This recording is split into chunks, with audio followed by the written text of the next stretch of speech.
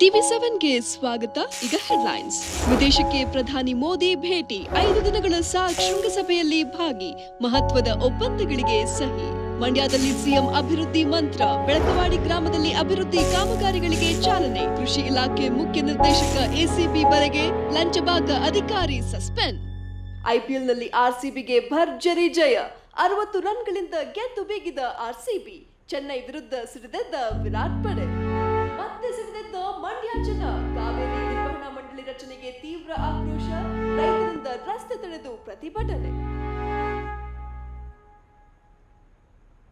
ಏನ್ ನಂಜಪ್ಪ? ಮಗನ ಒಂದಿನ ಸ್ಕೂಲ್ ತಪ್ಸಲ್ಲ ಅಂತಿ?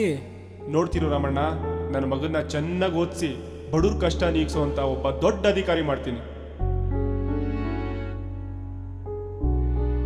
ನಿನ್ನೆ ನಗರದ ಕೃಷಿ ಇಲಾಖೆಯ ಮುಖ್ಯ ಕೇಂದ್ರದಲ್ಲಿ ನಡೆದ ಎಸಿಪಿ ಅಧಿಕಾರಿಗಳ ದಾಳಿಯಲ್ಲಿ ಇಲಾಖೆಯ ಮುಖ್ಯ ನಿರ್ದೇಶಕ ಮೋಹನ್ ಕುಮಾರ್ ರೈತರೊಬ್ಬರಿಂದ ಲಂಚ ಪಡೆಯುತ್ತಿದ್ದ ವೇಳೆ ಸಿಕ್ಕಿಬಿದ್ದಿದ್ದಾರೆ. ಈ ಮೊದಲು ಸಹ ಇವರ ಮೇಲೆ ಲಂಚದ ಆಪಾದನೆ ಕೇಳಿ ಬಂದಿತ್ತು.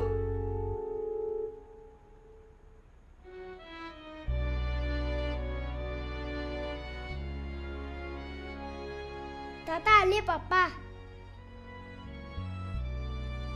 ಸಬ್ಸಿಡಿ ಕೊಡಿಸುವ ವಿಚಾರವಾಗಿ ಐವತ್ತು ಸಾವಿರ ರೂಪಾಯಿ ಲಂಚಕ್ಕೆ ಬೇಡಿಕೆ ಇಟ್ಟಿದ್ದು. ಈತ ಲಂಚ ಪಡೆಯುತ್ತಿದ್ದಾಗಲೇ ರೆಡ್ ಹ್ಯಾಂಡ್ ಆಗಿ ಬಲೆಗೆ ಬಿದ್ದಿದ್ದಾರೆ. ಅಮಾಯಕ ರೈತರಿಂದ ಲಂಚ ಪಡೆದ ಅಧಿಕಾರಿಯನ್ನ ಸೇವೆಯಿಂದ ಅಮಾನತುಗೊಳಿಸಲಾಗಿದೆ.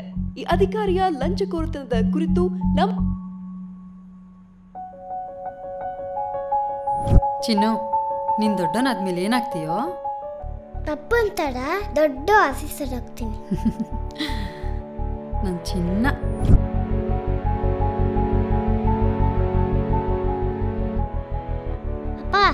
ಲಂಚ ಅಂದ್ರೆ ಏನಪ್ಪ?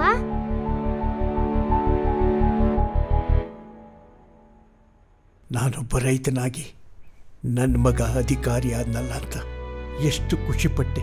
ಆದರೆ ಇವನು ಒಬ್ಬ ರೈತನ ಹತ್ರನೇ ಲಂಚ ತಗೊಂಡು ನನ್ನ ಮರ್ಯಾದೆ ಕಳೆದ್ನಲ್ಲ. ಛೇ. ಪಾಪು.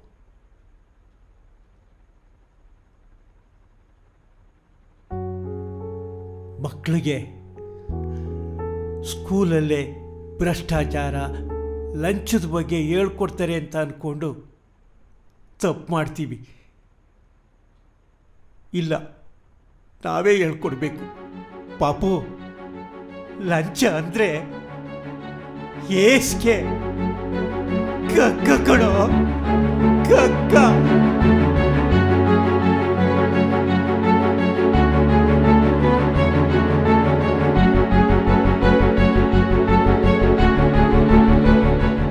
ಪಾಪು?